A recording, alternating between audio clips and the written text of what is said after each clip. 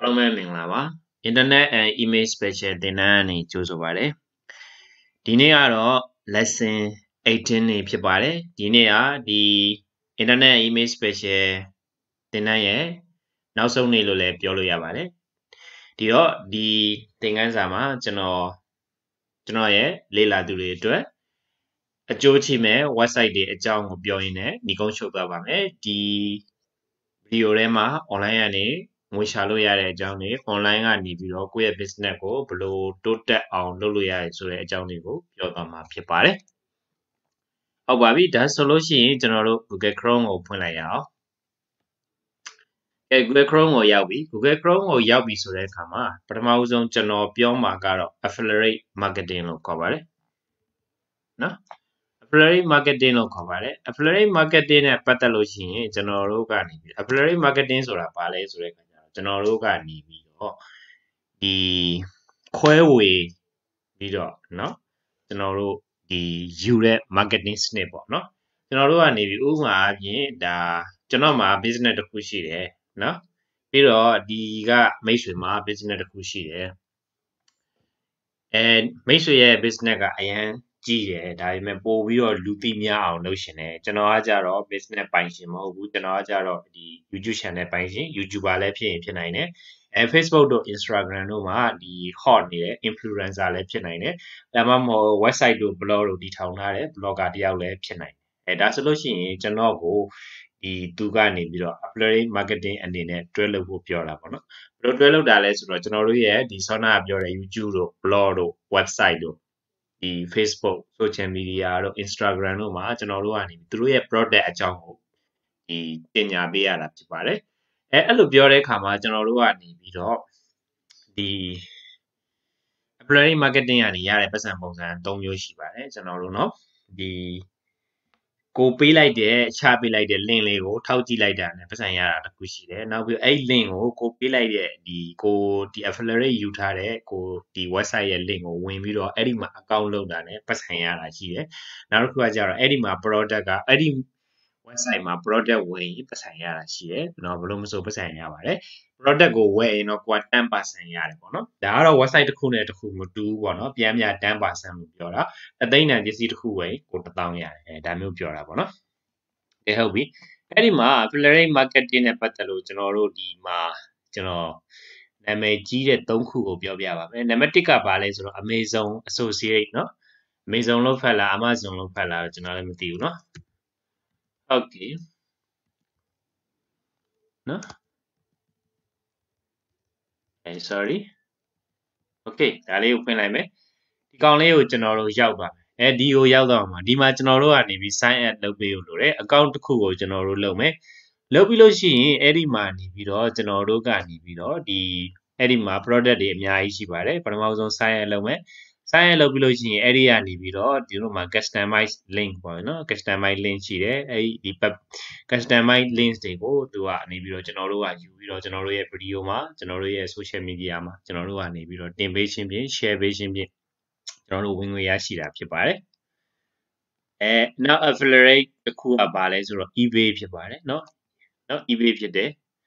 အဲနောက်ပြီးလို့ရှိရင်ကျွန်တော်တို့ဘာရှိသေးလဲဆိုလို့ရှိရင်ကျွန်တော်တို့ဒီနာမည်ကြီး နောက်တစ်ခုဘာရှိသေးလဲဆိုလို့ရှိရင်ဒီမှာอืม Clickbank ဆိုတာရှိပါတယ်เนาะ Clickbank Affiliate ဆိုတာရှိပါတယ်ဒီကောင်လဲကျွန်တော်တို့နာမည်ကြီးပါပဲเนาะ Amazon ရှိတယ် eBay ရှိတယ်ကျွန်တော်တို့ဒီ Clickbank ရှိတယ်ပေါ့နော်နောက်ပြီးလို့ရှိရင်ဒီမှာကျွန်တော်တို့ကြည့်မယ်เนาะ Affiliate Marketplace အဲဒီ affiliate marketing ကဒါကြတော့ကျွန်တော်တို့ဒီ ဒါကတော့ဒီ YouTuber တွေ blogger တွေနော် influencer တွေအတွက်ဒါဝင်ငွေရတဲ့နည်းပေါ့နော်အကယ်ကိုကစီးပွားရေးလုပ်ငန်းဖြစ်ရှင်တယ်စီးပွားရေးလုပ်ငန်းသမားဆိုလို့ရှိရင်လည်းကိုယ့်ရဲ့ product ကိုဒီမှာလာပြီးတော့ promote လုပ်လို့ရတယ် okay ကိုယ့်ရဲ့ product ကိုလာပြီးတော့ promote လုပ်လို့ရတယ်နော်ဒီမှာနိုင်ငံပေါင်း169နိုင်ငံကနေသုံးနေကြပါတယ် okay ဟုတ်ပြီ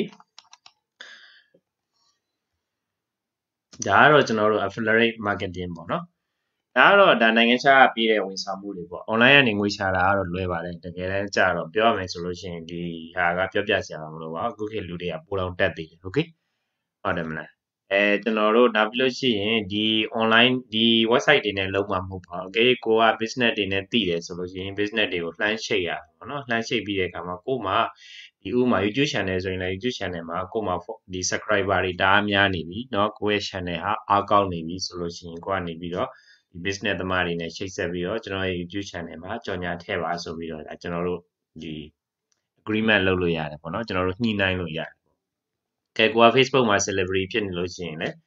ဒါအခုလူတိုင်း Facebook သုံးဖို့နေတာ Facebook မှာမြင်နေတာပဲเนาะကျွန်တော်တို့ဟာတာဗီဒီယိုတွေဆိုလို့ရှိရင်လည်းတချို့ဟာတွေဆိုလို့ရှိရင်ကိုဟာတော့မဟုတ်ဘူး copyright မလုပ်ဘူးเนาะသူများဟာတွေခိုးကူပြီးတော့ကျွန်တော်တို့ဖြည့်ညက်ကတ်လုပ်တယ်ကိုယ့်ရဲ့ logo လေးထည့်တယ်ဒီနောက်ပိုင်းမှာဖြစ်လာလဲလူကြိုက်တွေများလာတယ်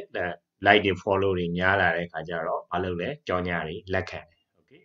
အဲဒါဒါမျက်မြင်ကိုယ်တွေ့မြင်နေရတာဟုတ်တယ်ဆိုတော့ဆောနာကကျွန်တော်ပြောတဲ့ website တွေနဲ့လုံမှာတော့မဟုတ်ပေါ့နော်ဒါကိုကကျ င်လည်တက်ရင်ကျင်လည်တက်တယ်လို့ဒါကျက်စားလို့ရတယ်โอเค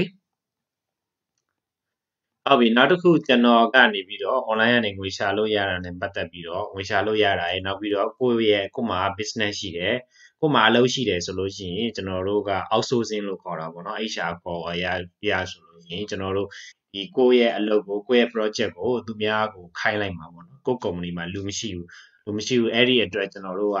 ခိုင်းမှာပေါ့အပြင်ကို outsourcing လို့ခေါ်တာပေါ့အဲ့ဒီသုံးမယ်ဆိုလို့ရှိရင်သုံးလို့ရတဲ့ website ဒီနည်းအားဖြင့်ဆိုရင်ကျွန်တော်တို့ freelance လုပ်ပြီးငွေရှာလို့ရတဲ့ website နှစ်ခုကိုကျွန်တော်ပြောသားပါမယ်နံပါတ်1နာမည်အကြီးဆုံးကတော့ Upwork ဖြစ်ပါတယ်ဟုတ်ပြီဒီကောင်လေးကတော့ Upwork ပေါ့နော်ဒီကောင်ကအမေရိကန်ကကုမ္ပဏီဖြစ်ပါတယ်ကျွန်တော်တို့နော်2015ခုနှစ်မှာကျွန်တော်တို့ဒါဒီစတင်ပြီးတော့ဒီထောင်ခဲ့တာဖြစ်ပါတယ်เนาะ ဒီ website မှာမြန်မာနိုင်ငံကဒီ business သမားတွေမြန်မာနိုင်ငံကဒါလုပ်ငန်းရှင်တွေဒီ website ကိုသုံးနေတာလည်းရှိပါတယ်ကိုကိုယ်တိုင်အကောင့်လုပ်ကြည့်ရင်သိပါလိမ့်မယ်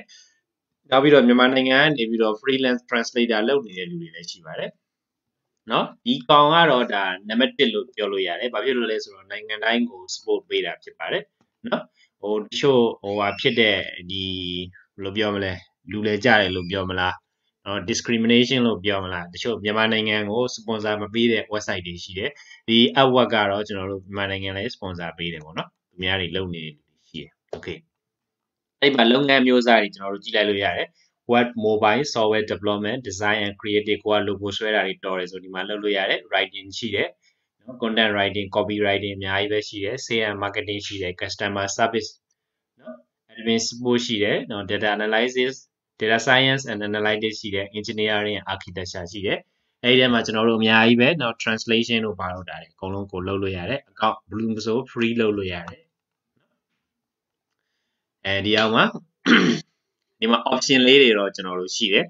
သူမဆိုဒီမှာ basis plan verify work history and review ကိုလောက်ထားတဲ့အလုပ်ရဲ့ history အလုပ်ဘယ်နှခုလုပ်ခဲ့တယ်ပြီးတော့ကိုကိုဒီလုပ်ငန်းရှင်တွေက review 5 star 4 star ပေးထားတယ်ဆိုတာတွေဒါတွေကိုကျွန်တော်တို့ ဒီမှာကိုယ့်ရဲ့အကောင့်မှာပေါ်နေမှာဖြစ်ပါတယ်เนาะဒီအလုပ်ငန်းနဲ့ပတ်သက်လို့တော့ unlimited proposal เนาะ proposal ကျွန်တော်တို့လက်ခံလို့ရတယ် business အနေနဲ့သုံးမယ်ဆိုလို့ရှိရင်လည်းကျွန်တော်တို့သုံးလို့ရတယ်ပေါ့နော်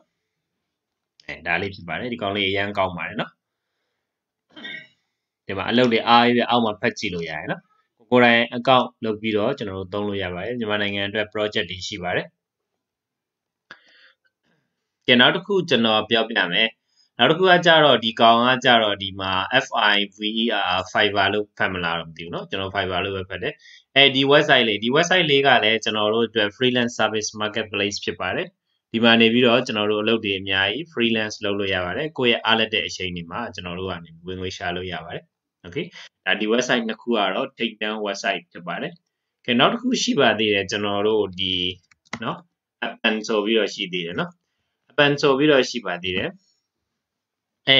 အဲ့ဒီ appen မှာလည်းကျွန်တော်တို့လုပ်လို့ရပါတယ်เนาะဒီကောင်ကတော့ကျွန်တော်အကောင့်မလုပ်ဘူးဒါပေမဲ့ဒီကောင်နဲ့ပတ်သက်လို့တော့အများဖြင့်တော့ဒီကောင်နဲ့ပတ်သက်လို့အခုနောက်ပိုင်းလဲလူတွေသုံးလာကြတယ်ဟိုကြားရတယ်တွေ့ရတယ်โอเคကျွန်တော်ကတော့အကောင့်မလုပ်ဘူးဒီမှာ appen.com ဒီအပန်နဲ့ပတ်သက်လို့လည်းကျွန်တော်တို့ဒီသုံးပုံသုံးနည်းဗီဒီယိုတွေ YouTube မှာရှိပါတယ်နော်အဲဒီမှာ တကယ်ကိုအချိန်ပေးနိုင်တဲ့ကိုယ့်ရဲ့ကြံ့ကျင်မှုလည်းရှိရဆိုလို့ရှိရင် ကျွမ်းကျင်မှုလည်းပေးနိုင်တယ်ပေါ့ဒီနေ့ကိုကို9နာရီလောက်အချိန်ပေးနိုင်မယ် project ကလည်းရအောင်လို့တာပေါ့နော်အချိန်ပေးနိုင်ုံလည်းမဖြစ်သေးကိုယ့်အတွက်အလုပ်လည်းရအောင်လို့သေးတာပေါ့ဒီနေ့ကို9နာရီလောက်အချိန်ပေးနိုင်တယ်အဲပြီးတော့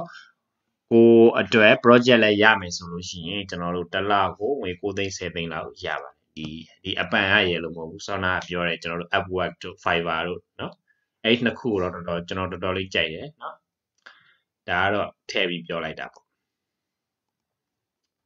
ကဲဟုတ်ပြီကဲနောက်တစ်ခုကျွန်တော်ဒီဗီဒီယိုမှာဗာပြောအောင်မလဲဆိုတဲ့ခါကျတော့ကျွန်တော်တို့ဒီ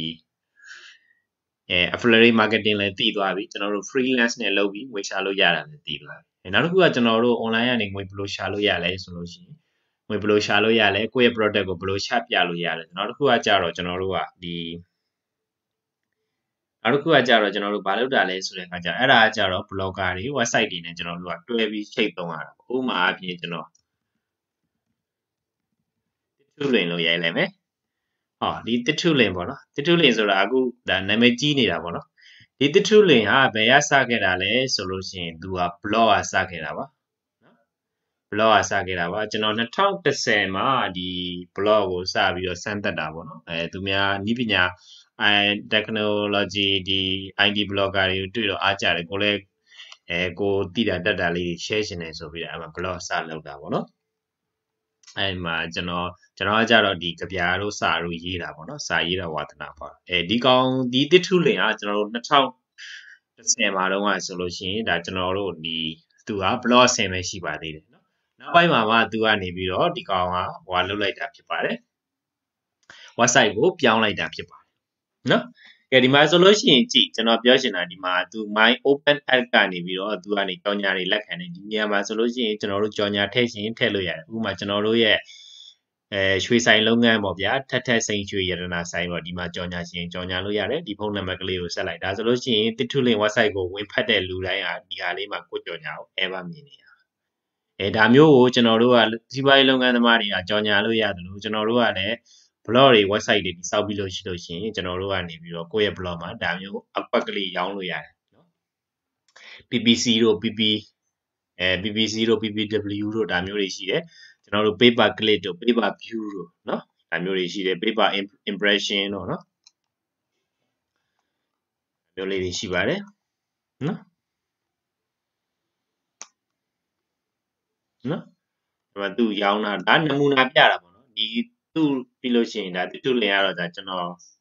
ဟိုတုန်းကပဲတည်ခဲ့တဲ့ website မှာလို့ဒါပြလိုက်โอเคအဲမြန်မာမှာဆိုရင် my open ad ရှိတယ်เนาะဆောင်းတာကျွန်တော်ပြခဲ့တယ် my open ad ရှိတယ်နောက်ပြီးလို့ရှိရင်ကျွန်တော်တို့နောက်တစ်ခုရှိသေးတယ် my open app ပြီးတော့ဒီမြန်မာနိုင်ငံမှာအဲ့ဒီလုပ်ငန်းလုပ်တာဘယ်သူရှိသေးလဲဆိုလို့ရှိရင်ကျွန်တော်တို့မြန်မာနိုင်ငံမှာအိမ်ချမ်းမြေနော်အိမ်ချမ်းမြေလုပ်တာဘယ်သူလဲ အဲအိမ်ချမ်းမြေလောက်တာအိုင်မြန်မာဟုတ်တယ်နော်အိုင်မြန်မာအဲအိုင်မြန်မာကလည်းကျွန်တော်တို့အဲ့ဒီလိုမျိုးကျွန်တော်တို့ကနေပြီးတော့အဲ့ဒီဒီ digital marketing အလုပ်လုပ်ပါတယ်အခုတော့လုပ်သေးလားတော့မသိဘူးပေါ့နော်အရင်တော့ကလုပ်တယ်ကျွန်တော်တို့အဲ့ဒီ my open ad ရှိတယ်အိုင်မြန်မာ advertising ရှိတယ်ပေါ့နော်ဒါနောက်တခြားကျွန်တော်မသိတာရင်လည်းရှိနိုင်သေးတယ်ပေါ့နော်အဲ့ဒါဆိုတော့ကိုယ့်ရဲ့ business ကိုအဲ့လိုကြော်ညာလို့ရတယ်နောက်ပြီးတော့ကျွန်တော်တို့ကဒီဝင်ငွေရရှင်တဲ့လူတွေအတွက်ကြတော့ကိုယ့်အကူ blog တွေထောင်ပြီးတော့ website တွေထောင်ပြီးတော့လုပ်လို့ရတယ် okay ဟုတ်ပြီနောက်တစ်ခုကျွန်တော်ပြောမယ်ဒီဗီဒီယိုမှာနောက်တစ်ခုကျွန်တော်ပြောမှာကြတော့ဗာလဲဆိုတဲ့အခါကျတော့ကျွန်တော်တို့ဒီဒီ website တို့ blog တို့လောက်တာနဲ့ပတ်သက်ပြီးတော့ကျွန်တော်ပြောမှာပေါ့နော်အဲ့ဆိုလို့ရှိရင်ကျွန်တော်တို့ free blog လုပ်လို့ရတာတွေကဘာတွေရှိလဲဆိုလို့ရှိရင်ကျွန်တော်ဒီမှာပြပါမယ်နော် free blog လုပ်လို့ရတာတွေကကျွန်တော်တို့ WORD word PRE access press wordpress ရှိတယ်နောက်ဒီရတော့ DG ရ blog ကကျွန်တော်သင်ပြီးသားဖြစ်တဲ့ blog ကရှိတယ်အဲနောက်ပြီးလို့ရှိရင် WIS width ဆိုတာရှိတယ် နော်အဲဒီကောင်လေးတွေကကျွန်တော်တို့ဒီ blog လုပ်လို့ရတာနေဖြစ်ပါတယ်နော်ဒါပေမဲ့နောက်မှာတော့ wordpress.com တို့ blogspot.com တို့ဒါတွေကတော့ပါနေမှာပေါ့နော် okay ဒီဒါဆိုလို့ရှိရင်ဒါ blog လုပ်တာနဲ့ပတ်သက်သွားပြီ website နဲ့ပတ်သက်လို့ကျွန်တော်ပြောပြမယ် website နဲ့ပတ်သက်လို့ free domain ယူလို့ရတာတွေ free hosting ယူလို့ရတဲ့ service တွေအကြောင်းကိုကျွန်တော်ပြောပြသွားမယ်ဟုတ်ပြီပထမဆုံး domain နဲ့ပတ်သက်လို့ အဲကျွန်တော်ဒီမှာပြောပြမယ်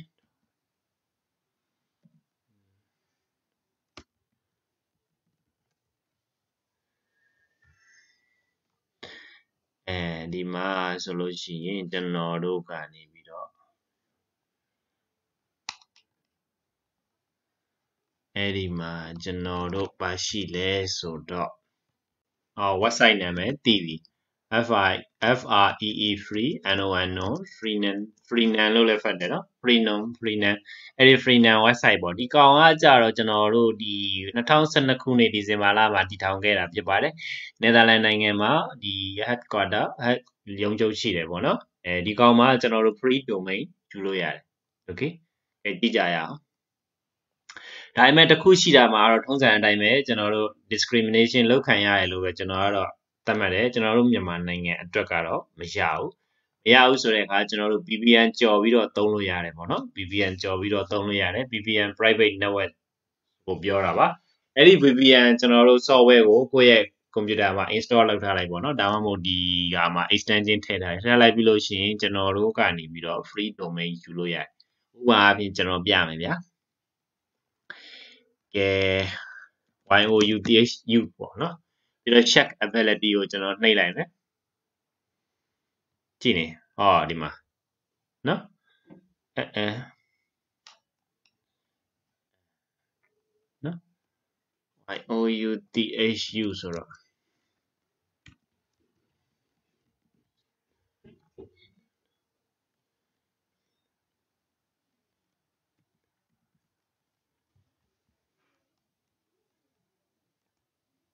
availability ကိုနှိပ်လိုက်မယ်ဟုတ်ပြီအဲဒီမှာကြည့်လိုက် okay အဲ c2 ဒီမှာ c2 လို့ကျွန်တော်ရိုက်လိုက်တယ်အဲ c2.lol လို့ရိုက်လို့ရတယ်အဲ့လိုဆိုလို့ရှိရင်တော့ဒီမှာဒီ domain ကဒါဒီတနစ်စာကို2553ဒေါ်လာကျပါမယ်ဒီမှာကျွန်တော်တို့ free သုံးလို့ရတယ် .tk c2.tk သူပြတဲ့ဒီဟွာတွေကဘာတွေလဲဆိုတော့ဒီမှာ .tk တို့ .ma တို့ .ga တို့ .cf တို့ ဒီ2တို့ဒီကောင်တွေကဒီက free သုံးလို့ရတယ်အဲ့နဲ့ပတ်စံတက်နိုင်လို့ရှိရင်တော့ကိုယ့်အကူကိုယ်ပိုင် domain ပဲဝယ်သုံးဖို့အကြံပြုချင်ပါတယ်ဒါကတော့ professional မကြောက်ဘူးပေါ့နော်နောက်ကဒီ DK တို့ MA တို့ GA တို့ CF တို့ G2 တို့ဒါတွေကဒါပေမဲ့ကိုကစမ်းပြီးတော့သုံးချင်တယ်ဆိုလို့ရှိရင်တော့သုံးတော့သုံးဖို့တော့ရတယ်ပေါ့နော်အဲ့ဒီမှာ .com နဲ့ c2.com ဆိုလို့ရှိရင်ဒီမှာတန်ပါတယ်8.38ဒေါ်လာပဲရှိတယ်ငွေညီမငွေအားဖြင့်ခန့်မှန်း1000 1000 1000 2000လောက်ပဲကြာမှာပါโอเคလောင်း1000လောက်ပဲကြာမှာအဲဒါမျိုးကျွန်တော်တို့ဝယ်သုံးလို့ရတယ်ကျွန်တော်တို့ကယူရှင်တယ်ဆိုလို့ရှိရင်ဒီမှာ select လုပ်လိုက်ပါ .tk ကိုနော် .tk ကို select လုပ်လိုက် select လုပ်ပြီးသွားရင်ကျွန်တော်တို့ကနေပြီးဒီမှာအဲဒီကောင်မယူရေးထဲမှာလာလုပ်အဲဟုတ်ပြီ .tk ကိုကျွန်တော်တို့ယူမယ်ပြီးရင် checkout ဆိုတာကိုနှိပ်လိုက်နော်ကျွန်တော်တို့ checkout ဆိုတာကိုနှိပ်လိုက်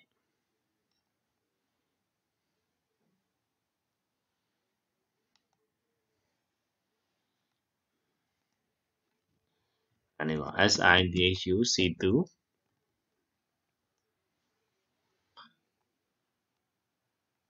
အဲဒီမှာ shutkout ဆိုတာပေါ်လာပြီ shutkout ကိုနှိပ်လိုက်မယ် shutkout ကိုနှိပ်လိုက်မယ်ခဏလေးစောင့်ပါ shutkout ကိုနှိပ်လိုက်မယ် shutkout ကိုနှိပ်လိုက်လို့ရှိရင်ဒီကိုရောက်လာတယ်ကျွန်တော်တို့ဒါကျွန်တော်တို့ရဲ့ဒီဒါ domain ပေါ့နော် www.c2.dk ဆိုပြီးဒါရမှာပေါ့ အဲဒီမှာဆိုလို့ရှိရင် free ရက်က3 man နဲ့ free เนาะကျွန်တော်တို့အဲ့ဒီမှာကျွန်တော်တို့12 man အထိ free ရတယ်12 man ကိုပြောင်းလိုက်ပြီးတော့ continue ကိုနှိပ်เนาะ continue ကိုနှိပ်မယ်နားလေ waiting နဲ့ okay ဒီမှာ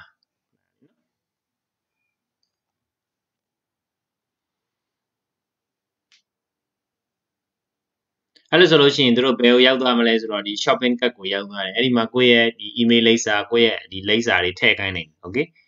ဒီမှာကျွန်တော်တို့ကပထမဦးဆုံးရင် email ရင်ထည့်ခိုင်းတယ်ဒီမှာကျွန်တော်တို့ရဲ့ email ကိုရိုက်ထည့်ရမယ်ကျွန်တော်တို့ရဲ့ email ကိုရိုက်ထည့်ပြီး verify my email address ဆိုတာကိုနှိပ်လိုက်မယ်ဒါဆိုရင် email ထဲကိုစာတစ်စောင်ဝင်လာတယ်အဲ့ဒီစာတွေက link လေးအတိုင်းနှိပ်လိုက်ဒီ freenon freenon ဆိုတဲ့ website ကိုကျွန်တော်တို့ပြန်ရောက်လာပြန်ရောက်လာပြီးလို့ရှိရင်အဲ့ဒီမှာကျွန်တော်တို့ရဲ့ information တွေရိုက်ထည့်ရတယ်လိပ်စာတွေပါတယ် နော်လိန်ရှင်နဲ့လိန်ပြီးအမှထည့်လို့ရတယ်အဓိကကတော့ကျွန်တော်တို့ VPN တော့ကြော်ဖို့လိုတယ်နော်အဲ့ဒါပြီးလို့ရှိရင်ကျွန်တော်တို့ domain တစ်ခုရမှာဖြစ်ပါတယ်နော်အဲ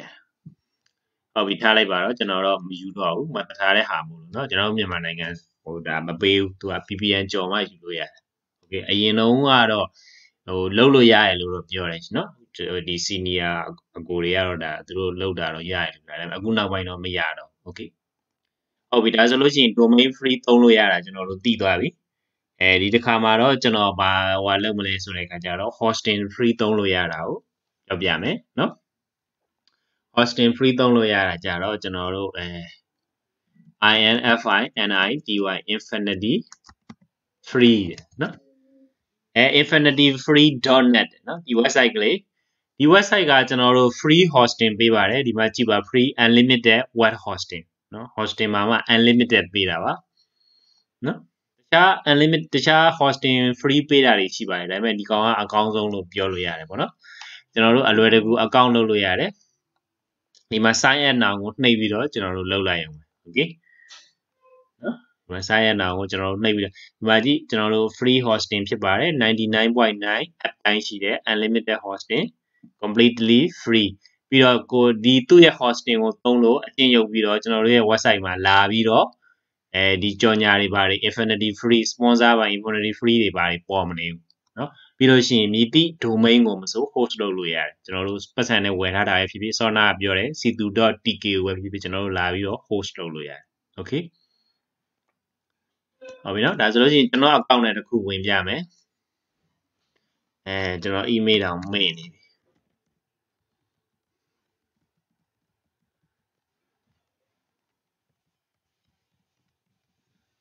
okay okay ဒီမှာရပြီเนาะကျွန်တော်တော့ account တစ်ခုလုပ်ထားတယ်ဒီမှာ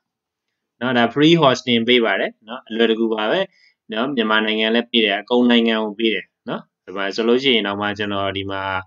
အဲဒီမှာဟို website ကလေးတစ်ခုလုပ်ထားသေးတယ်လုပ်ထားတယ်ဆိုတာဒီတိုင်းလုပ်တာပါဘာမှမရှိပါဘူးသွားကြည့်မနေနဲ့เนาะ c4e.epi.zy.ebis.com ဆိုပြီးတော့ဒါကျွန်တော်လုပ်ထားတာโอเค ဟုတ်ပါပြီဒါဆိုလို့ရှိရင်ဒီဗီဒီယိုလေးမှာကျွန်တော်ဒီကုန်းချုပ်အနေနဲ့ online ကနေငွေချလို့ရတဲ့အကြောင်းအရာတွေကိုယ့်ရဲ့ business ကိုဘယ်လိုထိုးဖောက်လို့ရတယ်ဆိုတဲ့အကြောင်းအရာတွေနောက်ပြီးလို့ရှိရင်ဒီ domain တွေ hosting တွေဘယ်လို free ယူလို့ရတယ်လူငယ်တွေအနေနဲ့ဘယ်လိုလက်တက်ဆန်းလို့ရတယ်ဆိုတဲ့အကြောင်းအရာတွေကိုပြောပြပေးခဲ့တာဖြစ်ပါတယ်အားလုံးပဲနားလည်လိမ့်မယ်လို့ထင်ပါတယ်ကျေးဇူးတင်ပါတယ်